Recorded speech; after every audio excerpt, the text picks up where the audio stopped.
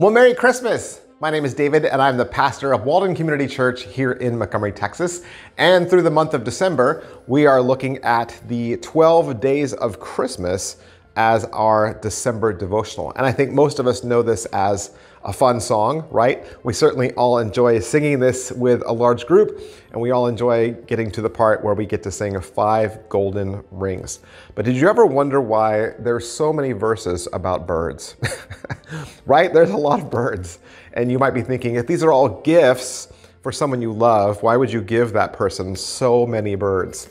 Well, Originally, the 12 days of Christmas are feast days that follow from Christmas all the way to Epiphany, the day the church recognizes the wise men visiting the baby Jesus.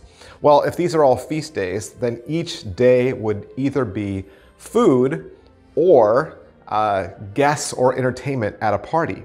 And so as the days increase, the party gets larger and larger and larger, and therefore there are more people to feed. And so these birds are not presents, they are dinner. Today we're at day 10, and that takes us to 10 Lords a Leaping. In every one of these devotionals, we've been asking ourselves, is there a verse in this that also lines up with the Christian faith? And I think 10 Lords a Leaping is the easiest one out of all of them to understand. The Lord in England is somebody who is a judge, or somebody who is in charge of the law.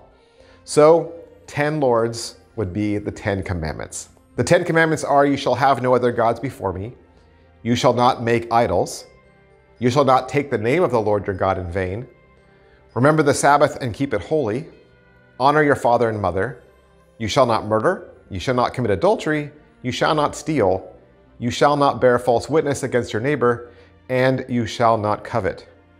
You know, God gave the Ten Commandments to Moses as a foundation of law for the nation of Israel.